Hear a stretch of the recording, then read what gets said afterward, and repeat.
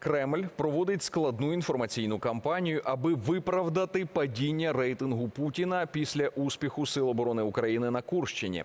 Такий висновок зробили в інституті вивчення війни. Ці аналітики звернули увагу на соціологічне опитування, де 28% росіян висловили обурення або незадоволення діями російської влади. Хоча місяць тому цифра була 18%. Крім того, рейтинг Путіна від лютого 2022 року впав на 3,5%. І це рекордне падіння, кажуть аналітики. Додають, оприлюднена соціологія свідчить не про особливо виражене невдоволення серед населення, швидше про те, що Кремль обмежено визнає це обурення, а отже, не ігнорує стурбованість російського суспільства через українське вторгнення. Далі з нами на зв'язку Юрій Олійник, кандидат політичних наук, керівник дослідницьких програм аналітичного центру Української студії стратегічних досліджень. Пане Юрію, вітаємо вас. Вітаю, слава Україні! Героям слава. Е, Тож, пане Юрію, ось це відбілювання рейтингу. Чи дійсно е, ось таке відбілювання, таке витрачання ресурсів Кремлю цікаве? Ну, очевидно, що це оприлюднюється. Є, є дані, що дійсно це погоджено з державною владою. Я думаю, це все е, дійсно Кремлю вигідно, щоб показати, можливо, не населенню і переважно не населенню, а певним е, партнерам, наприклад, е, в інших державах, чи якимось силам, які до чи ворогам навіть, е, які до нього дослухаються, або конкурентам всередині Росії, саме на рівні еліт. Що Путіна все ж таки, попри падіння, якесь є певні, певний рейтинг, є певна підтримка, він її зберігає, і вони більше того, Кремль бачить проблеми і з ними бореться.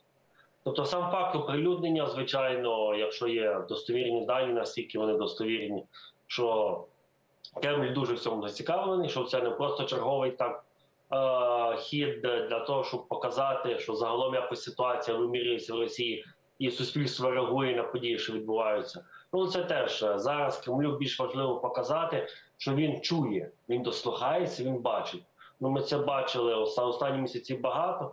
Наприклад, е, щодо так звана конференція Путіна передвиборча велика в грудні.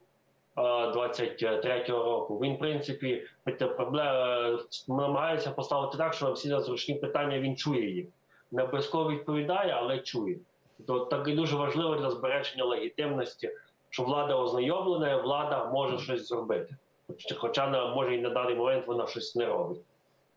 Ну щодо цифр, звичайно, я більш скептичний. Вони швидше за все дуже великим чином намальовані, тому що е, справжньої соціології в Росії немає. Е, Пане Юрію, я у цьому зв'язку хотів вас е, спитати про в принципі, знаєте як, чи наскільки важливо працювати з рейтингами на початку, наприклад, каденції? Так, є там міжнародна практика, а є російська політика. Ось ось такий е, тонкий момент. Я би навіть більше розширив. На вашу думку, е, наскільки коректно співвідносити е, ось певні такі політологічні кліше міжнародні з російською політикою? Ну, наприклад, чи є в російській політиці якась критична межа довіри до президента? Ну, звичайно, вона теж там є. Може, вона не, не прямо проявляється. Вона полягає в тому, що наскільки велика частина інертного населення, яке нейтральне, яке погоджується терпіти владу в обмін на якусь стабільність, воно перестає задовольнятися цим контрактом, бачить, що стабільність забезпечується, а тільки збитки йдуть від тої влади. В принципі, чим більше гірша ситуація в Росії, тим більший шанс, що хоча б в меншій частині буде проявлятися незадоволення, відповідно, воно буде е, реально розхитувати країну. Ну, Як це було, великий рівень був кінці, якщо говорити е, 20 90-х років, був звичайно періоди за Єльцина. І за Путіна теж були певні спади, не такі великі. Але локально великий спад був у 2012 році, в 2013, коли були вже почались е, зменшення доходів від нафти.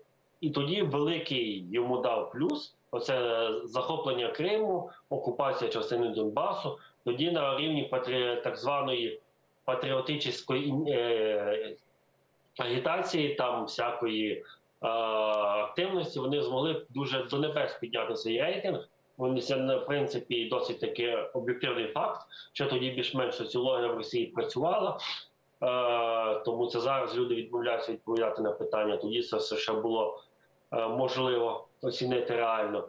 Ну і потім відповідно якось це все коригувалося. Зараз, звичайно, були теж сплеск на початку е, війни з великий повномасштабний, але зараз очевидно велике падіння. Велике падіння було, коли бунт Пригожина був у 23-му році. Зараз велике падіння, коли е, бойові дії в Курській області. Це одне з найбільших падінь. Ну, це е, навіть визнається, хоча це дуже все оціночно. Конкретні якісь цифри, відсотки важко говорити, тому що ну важко зважити. А, Пане Юрію, і ще, ще одне питання вам е, поставлю з приводу іншого е, соцопитування. Е, Звернув на нього увагу.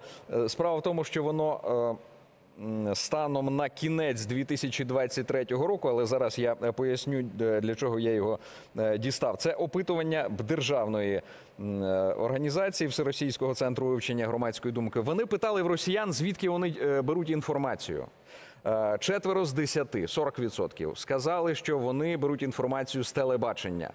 2013 року це було 60%. Я е, у вас буду питати перспективи російського телебачення як основного рупора Кремля. Наскільки вони чіткі, на вашу думку? Ну, звичайно, вони падають, тому що населення в тому насправді, якщо не вплив більшості населення, воно швидше це, це перехід телебачення російського на цілодобову пропаганду. Та зараз мінімум якогось розважального контенту, це 90% пропаганда. Вона теж стомлює населення, його е, псих, е, псих, психотизує, е, і люди хочуть щось інше бачити, дивитися. Е, Тому я думаю, ці всі спроби заборонити Ютуб, які зараз намагаються, вони вдарять швидше про самі російській владі, тому що населення в основному йде там, наприклад, дивитися на якихось опозиційних чи західних е, політиків, а в принципі якийсь розважальний контент, е, щоб уникнути оцього цієї ось напруги, яка постійно панує на російському істерики, на російському телебаченні. Тому, в принципі, чим більше будуть заганяти, забороняти, тим більше воно буде ну, проблем для них. Пане Юрію, дуже дякуємо вам за е, відповіді. Юрій Олійник, кандидат політичних наук, керівник дослідницьких програм аналітичного центру Української студії стратегічних досліджень.